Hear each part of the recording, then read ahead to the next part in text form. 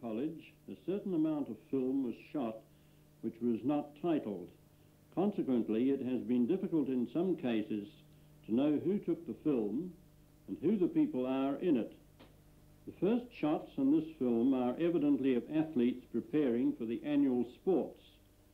Perhaps some of you in the audience can recognize yourselves. Notice too how long the shorts were. That sounds Irish, but it's true. We don't realize how fashions change.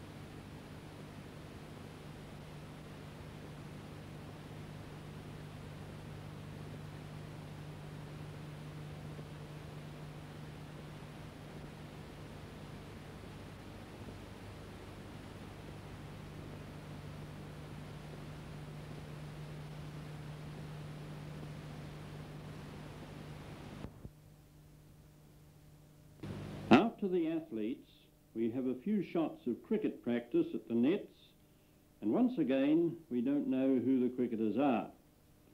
Now, let's take a look at the fete. In the first 50 years of the life of St Andrew's College, four fetes have been organised for the purpose of raising funds for various objects connected with the school. These fetes were held in 1932, 1948, 1954 and 1958. The immense task of organisation fell primarily on the shoulders of Mr G.A.M. Hilson insofar as the three latter fetes were concerned. In the Depression years, from about 1930 to 1934, finances were a constant worry, and the roll had dropped very considerably. The old boys at that time did everything possible to help the college financially. They launched an endowment scheme whereby life insurance policies were taken out in the name of the college. They held dances in various country areas and sent the profits to the school. And they had a major share in the running of the 1932 fete and in stocking the various stalls. This monster fete raised the princely sum for those days of £1,642 an effort described at the time as one of the most successful of its type throughout New Zealand. Country areas were canvassed for goods of all types, and older old boys will still remember the stream of farmers' trucks bringing in produce and goods to the fete. It was opened by the Right Honourable the Prime Minister, Mr G.W. Forbes, the rector at the time being Mr A.K. Anderson, and the chairman of the Board of Governors, the Reverend L. Lawson Robinson. This film depicts the views of the fete begin with the pipe band leading the Reverend J. Lawson Robinson, Chairman of the Board, Mr. A.K. Anderson, the Rector, Mr. Forbes, the Prime Minister, and Mr. D.G. Sullivan, Mayor of Christchurch, to the official dais. On the dais, the speakers in turn are the Reverend Robinson, Mr. Forbes.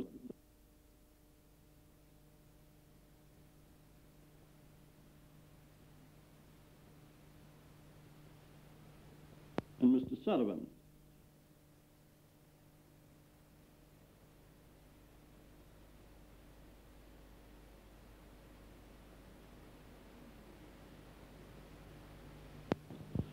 Following the official speeches, Mrs. Forbes and Sullivan are uh, led in state by the pipe band to the dock to be fined.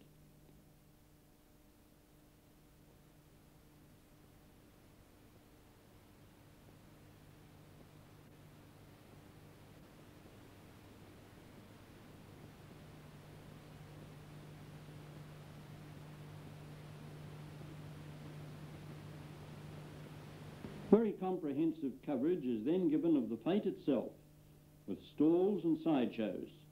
brief glimpses are seen of Mr. L.W. Stewart and Mr. M. Ledbetter. You can realise that this film uh, in this year of 1966 is very valuable and gives very interesting views of those almost faraway days of 1932.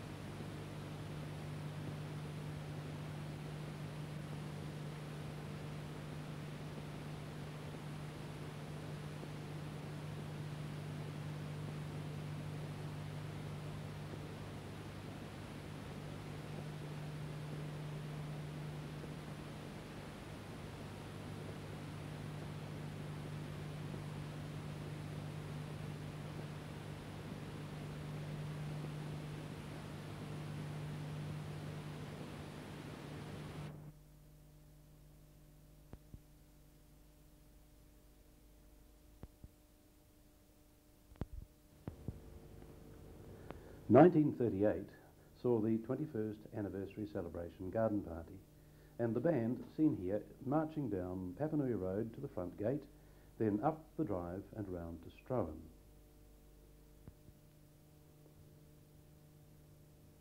Afterwards, the band took part in a massed band display on the college grounds. During the Depression years, band numbers had fallen away. But by 1938, there was a renewed interest in learning the pipes and the drums. Here, the band is led by drum major D.M. McIntyre and pipe major C.D. Ogilvy. There are two drum majors flourishing and three drum majors in all.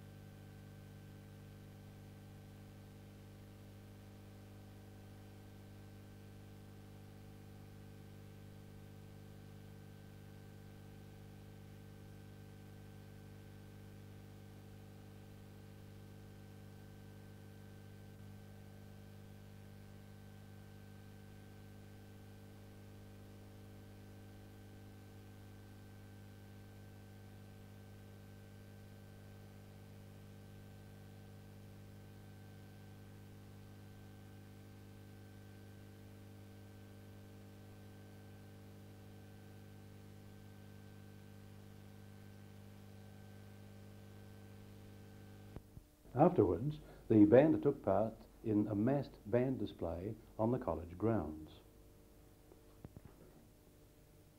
During the Depression years, band numbers had fallen away, but by 1938 there was a renewed interest in learning the pipes and the drums. Here the band is led by drum major D.M. McIntyre and pipe major C.D. Ogilvy. There are two drum majors flourishing and three drum majors in all.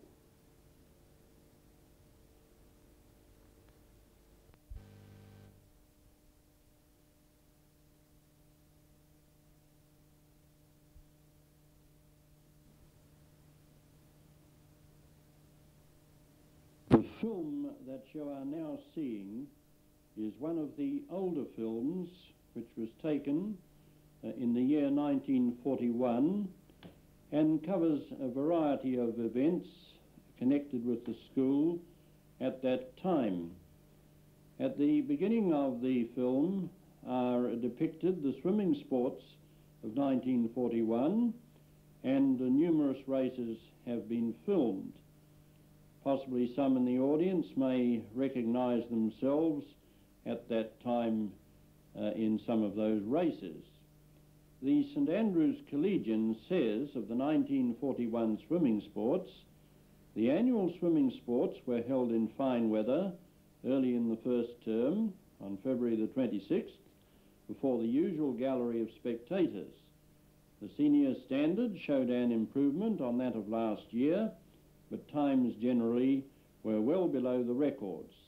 The outstanding swimmers were the Jacobson brothers.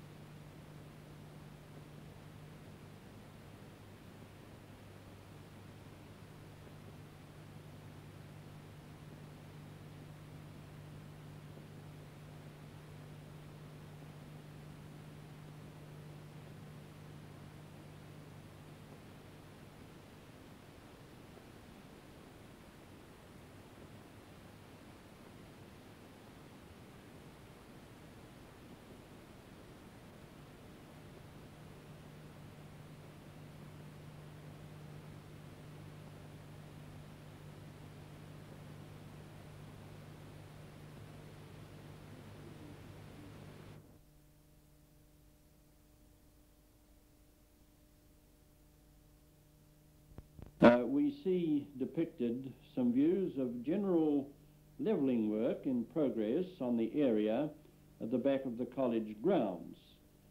Uh, one interesting feature is that all the work is being done with horses and scoops.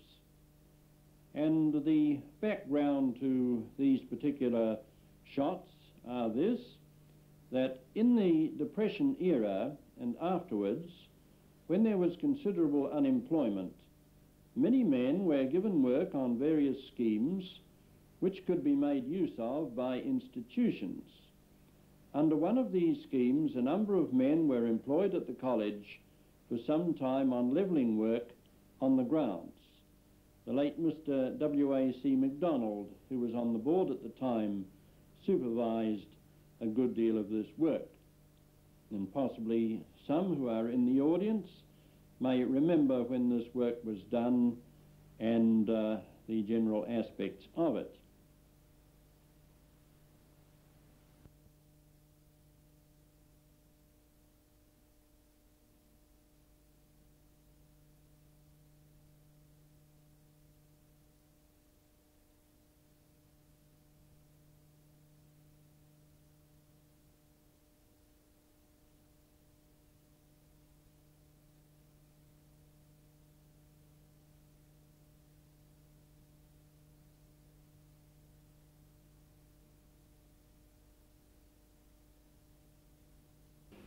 Then follows a view of the vegetable garden, which was adjacent to the swimming baths.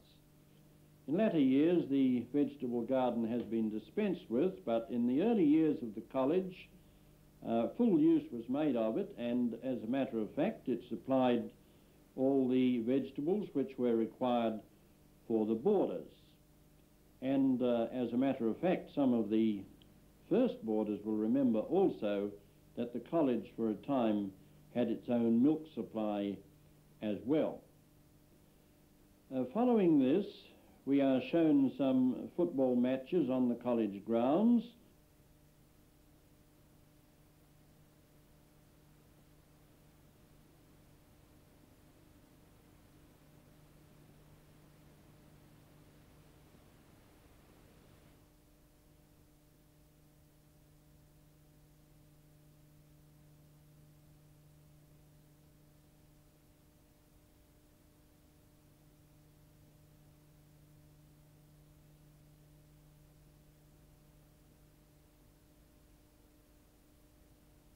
the teams being played onto the field by the pipe band. Uh, there is a view of the late Mr. W.A.C. MacDonald on one of the spectators' stands. It is rather interesting to record that Thistledown, the first St Andrews College magazine, reported on June the 8th, 1917 as follows. St Andrews College started the football season yesterday with a test match against West Christchurch School. The match was drawn 3 all, and W.A.C. MacDonald scored a try.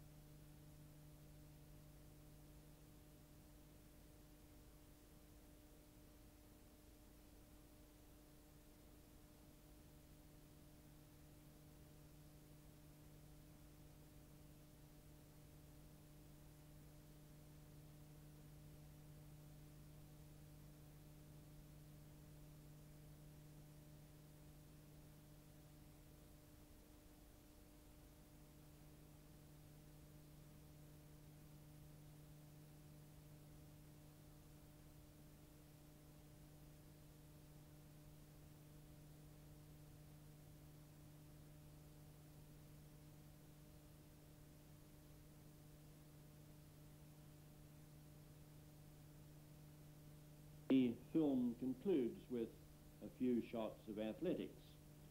Uh, this is just a, a, film which has depicted, as I said, quite a number of interesting events concerned with the college in that year of 1941. And for those of you who attended the school about that time, I am sure that it will be of considerable interest.